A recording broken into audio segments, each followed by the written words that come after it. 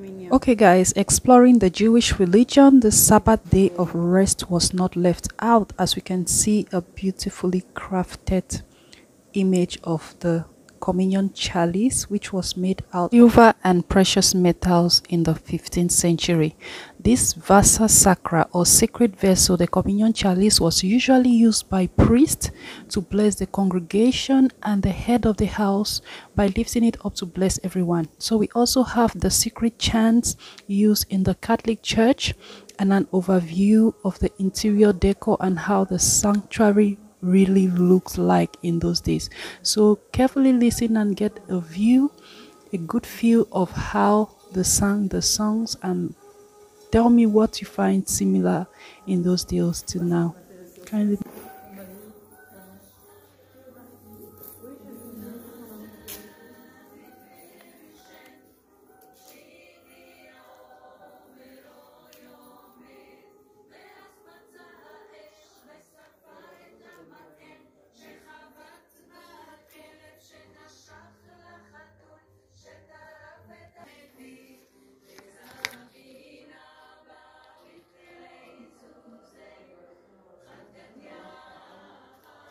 okay by now. I hope you enjoyed this video. Please don't forget to give me a follow and a thumbs up and see you in my next video. Bye bye